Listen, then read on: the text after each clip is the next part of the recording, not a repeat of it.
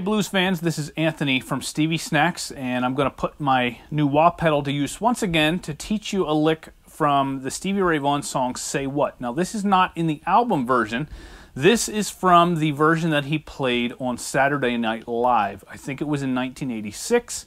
You can probably find a clip of it somewhere on YouTube.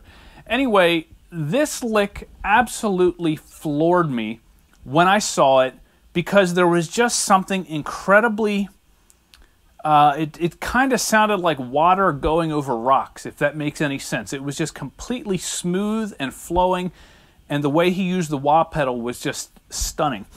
And it's been one of my favorite licks ever since I got into Stevie's music, and I'm going to show you how to play it today. So what's happening here? I think I can't remember exactly which key the song "Say what is in. I think I'm in uh, the key of C here, or no, I'm in the key of B. Because I'm tuned down a half a step, so I'm here at the 10th fret.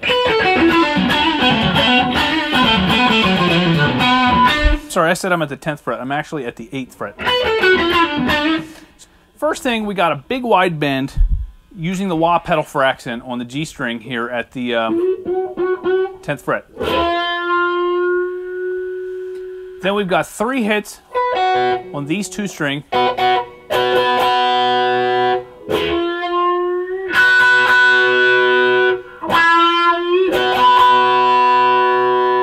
Then we're going to alternate back and forth between the G string, these two notes, the B string at the 11th fret and those two notes, and then finally the top of box one on the E string and those two notes. So we got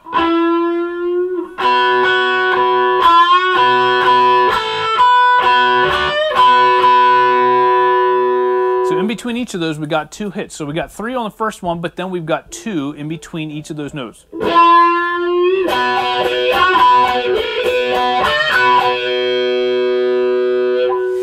So let me back up, turn off the wah pedal so you can see exactly what I'm doing here.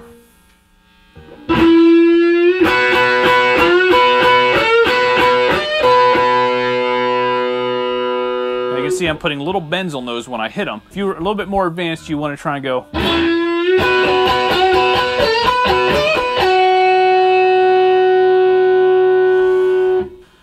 So the second part of the lick is a standard Stevie Ray Vaughan style lick. Uh, it goes.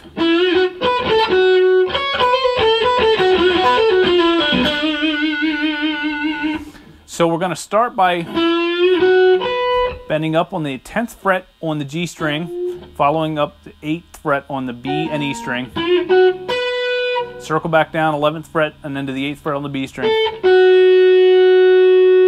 do a little hammer on, go to the 10th fret on the E string, hammer on from 8 to 9, small bend on the 11th fret on the B string, and then circle backwards from 8th fret on the E string, 11th on the B string, 8th on the B string.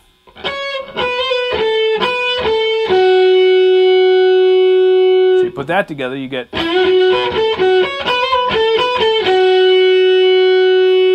and then finish up the lick by doing the whole round trip again. Slide here from 11 to 10 on the G string. Drop to 8, then drop to 10 on the D string, and then back up here and vibrato on the 8th fret on the G string. So you put that together, you get.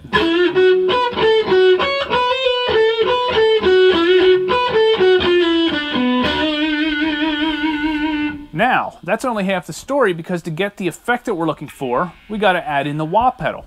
So the places where I'm putting in the accents are obviously you want to open up the pedal on that big wide bend. I close I think he closed it here.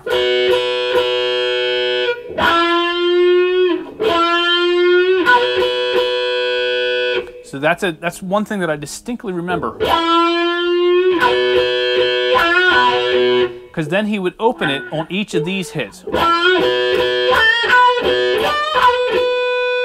So you get open here, close, open, open, open. So he's closing anytime he's playing these two notes. Put that together, you get. And it kind of sounds like a dog barking. And then when he plays this lick,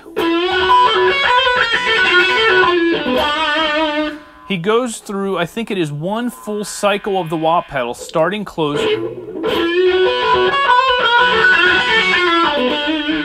And he's just starting to open it up as he gets into. And then he closes it quick and opens it on this last vibrato. So it's kind of like you're opening and closing and then opening again right at the very end. And it was just the way that the wah pedal had this smooth action as the lick had all these busy notes in here. So it's like two alternating rhythms. You had the really fast rhythm of the lick, and then you had the wah just kind of going in a wave as you went through it. So once again, if you put it all together, you get.